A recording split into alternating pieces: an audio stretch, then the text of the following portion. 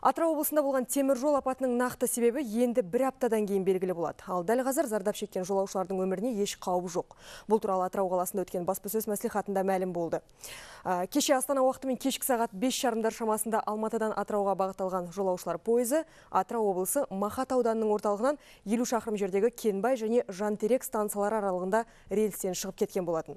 Салдарынан пойызда келе жатқан 600-ге жуық жолаушының 60-тан астамы түрлі дене жарақаттарымен ауруханаға жеткізілді. çözüldü.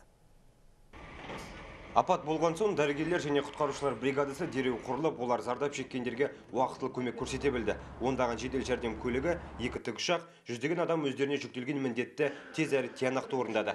Мақат аудандық ауруханасында 20-дан астам адамға амбулаториялық көмек көрсетілді.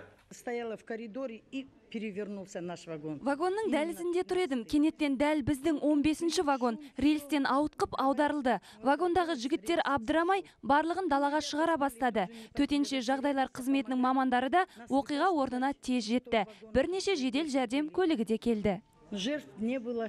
стоп кранды басып қалды біреу дейді ғой содан тарс тарс ете қалды ғой мен землетрясение болып отыр екен деп ойладым рахмет аман болсын біздің да жақсы көмектесті әйтеуір бәрі бір кісідей келіп Ал облыстық ауруханаға 6 адам жеткізілді. әрбір науқасқа психологтар келіп психологтармен сөйле сөйлесіліп жүйке жүйкелерін тыныштандырып енді алғашқы керекті деген жалпы мына мамандандырылған көмектің барлығы көрсетіліп жатыр. Өмірлеріне төніп тұрған қауіп жоқ ешқайсысының да. Қолынан келгендердің бәрін істеп жатыр. Рахмет. Барлығына мың да бір алғысымды айтқым келеді.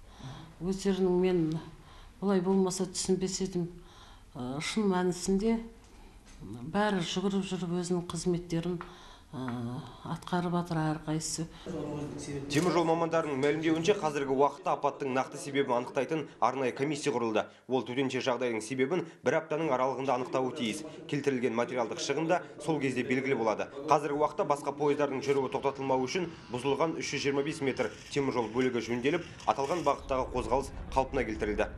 Қазір жүргізіліп жатқан комиссияның жұмысы бойынша қорытындысымен олар өздері шешім қабылдайды бізде өзінің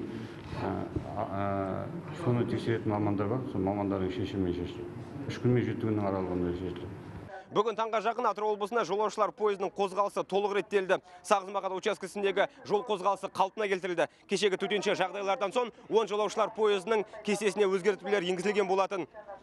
Жалпы қалпына келтіру жұмыстарына 218 жұмысшы, екі арнайы пойыз бен 25 техника жұмылдырылды. Ал қазір өздеріңіз көріп тұрғандай, Мақат станциясына пойыздар кесте бойынша уақытымен келіп кетіп жатыр. Батырбек Қуандықұлы, Өнербек Жаңабаев, Қазақстан ұлттық телеарнасы Атырау.